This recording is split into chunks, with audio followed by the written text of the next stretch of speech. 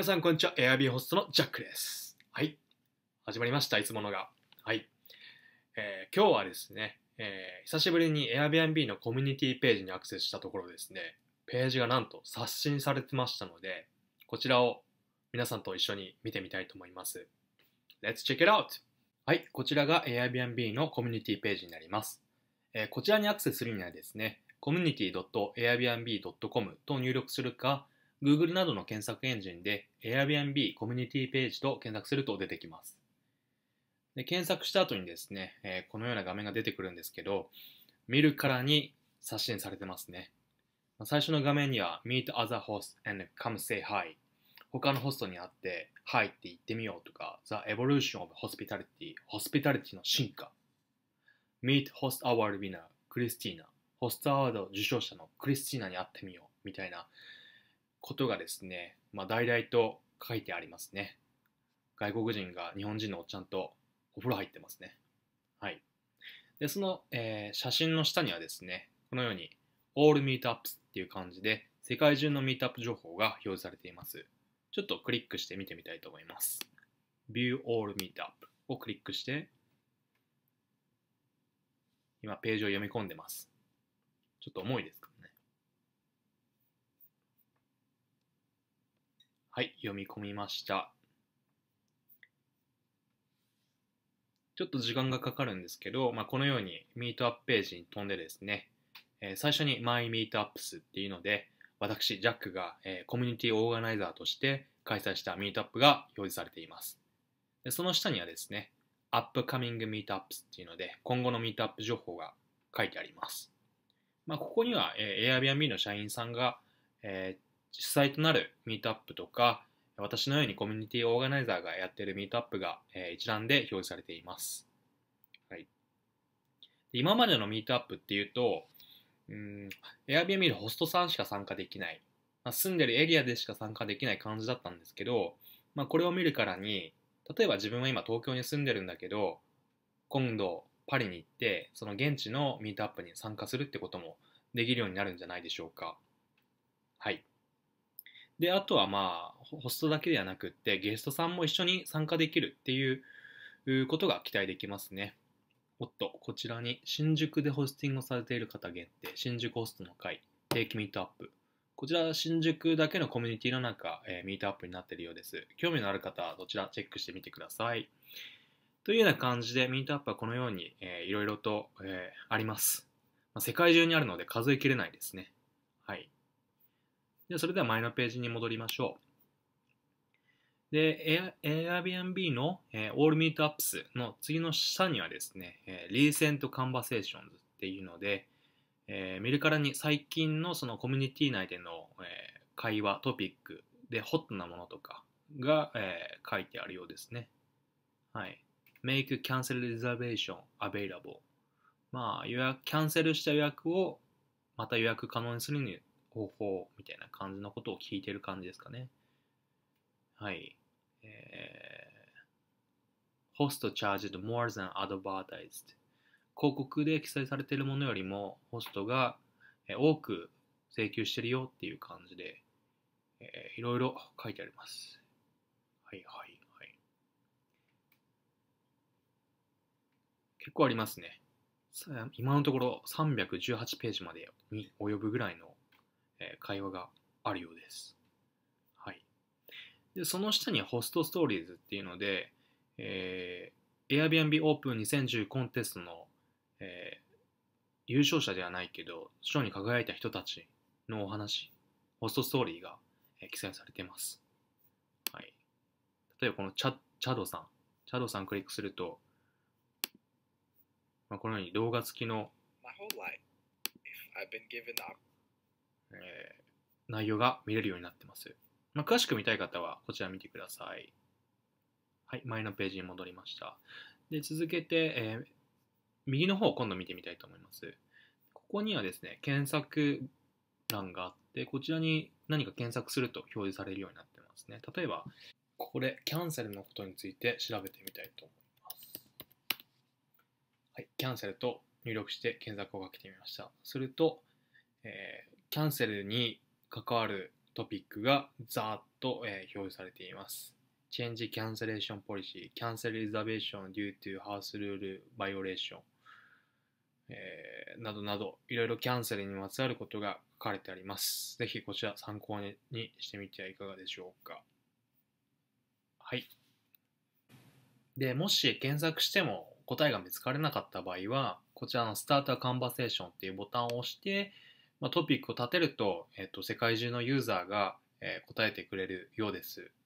もちろん世界中のユーザーに答えてもらうには英語で書いてもらうんですけど、まあだんだん日本語対応とかしてくると思いますので、まあ、日本語で何か質問すれば日本の放送の方たちが、え何か有益な回答をしてくれるんじゃないかなと思います。で、その下にはですね、トップコントリビューターズっていうので、まあその世界中のホストさんの質問、悩みに対して、えー良い回答、まあよく回答してあげてる方っていうのが、えーベスト5形式で今のところ、えー表示されています。1位はクレアさんっていう方で、この人209いいねをもらってんのか、209いいねぐらいのことしたのかわかんないですけど、まあ、一番コミュニティに貢献してるようです。まあ、ぜひ彼女のようにですね、えっ、と、日本のホストからもこういうコントリビューターズ、貢献者っていうのが出てくると良いですね。はい。で、右側もうこれで終わりなんですけど、今度は右側の上のタブですね。はい。でこちらサインインボタンがあるので、一度サインインしてみたいと思います。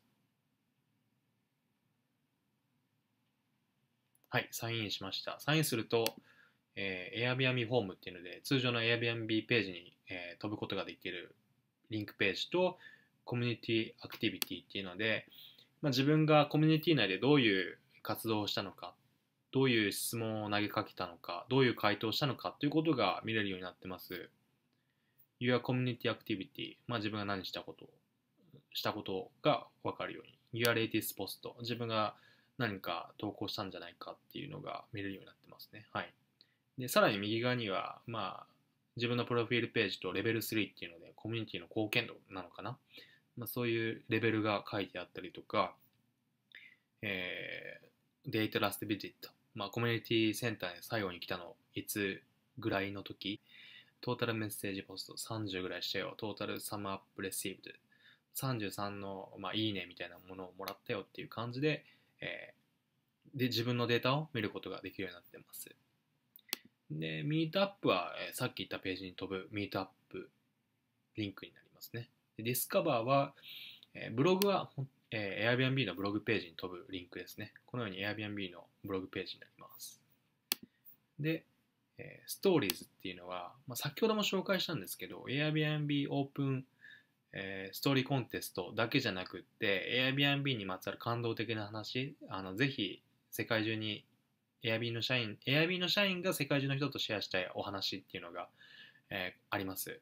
でもし、えー感動的な話があった場合、こちらの Have a Great Story っていうところで、えーあなたのお話をシェアすると、もしかしたら Airbnb がドキュメンタリーとか作ってくれたりとか、えーリサーチしてくれるかもしれません。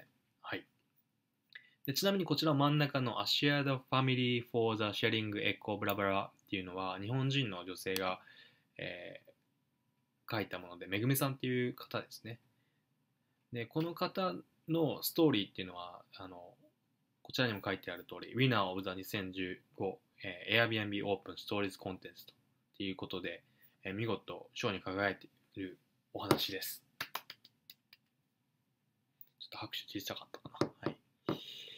で、えーぜひですね、えー英語で書かれてるんですけど、このめぐみさんっていう方、日本の十日町、十日町？でやってる方だと思うんですけど、どんなことをやってるのか、えー気になる方はこちらをチェックしてみてください。はい。で、ディスカバーのもう一つ下に、ビデオスっていうのがあって、これは先ほどのホストストーリーの中でも、えービデオのあるコンテンツが表示されている感じですね。これはビデオはないけど、まあ、先ほどのチャドさんと同じようにこちらのようなビデオコンテンツがあるものがこちらの Airbnb ビデオズで表示されるようです。で最後にこのディスカスなんですけど、えーまあ、最初の画面でもいくつかホットトピックみたいな感じで見れたんですけど、All Discussion Rooms っていうので、テーマごとにいろいろなコンテンツを見ることができるようになってます。はい。でここは Regulation and Tax で、法まあ、規制と税みたいなことも調べたり、知ることができるようですね。はい。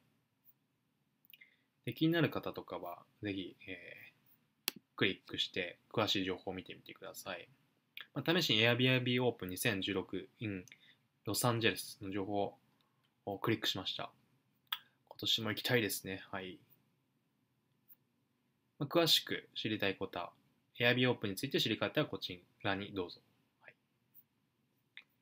でディスカッスの、えー最後、シティーズっていうところを見ると、まあ、前のコミュニティグループページみたいな感じで、年ごとに、えーページがあります。ニューヨーク、オースティン、ロサンゼルス、シカゴ、サンフランシスコ、マイアミ、ダブリン、ロンドン、メルボルン。まあ、主要な大きな都市ですね。東京もあるんですかね。あ、東京ありました、こちらに。東京でクリックすると日本語に切り替わりましたね。はい。で、まだ東京のコミュニティページではトピックが立ってないみたいなので、ぜひ興味のある方はこちらのトピを立てるでトピックを立ててみてはどうでしょうか。はい。他にも京都っていうのがあったんで、ちょっと前のページに戻って、京都がこれかな？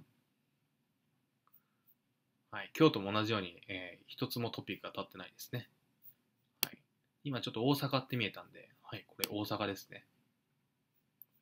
はい。大阪もないようですね。はい。さあ、誰が一番最初にトピを立てるのかちょっと気になるんですけど、この動画を見た方、ぜひ、えー、1番目のトピ立て者になってください。で最後にコミュニティのヘルプかな。ここでは、んなんだろうな。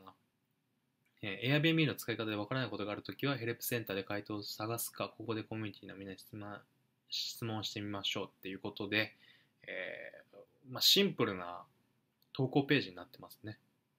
はい。まあ、以上が Airbnb のコミュニティセンターの簡単な使い方になります。皆さん、いかがでしたでしょうか？この Airbnb の新しいコミュニティページなんですけど、いろんなことができるみたいですね。ぜひ使い倒してですね、普段のホスティングがもっといいものになるといいですね。それでは今日はここまで。See you!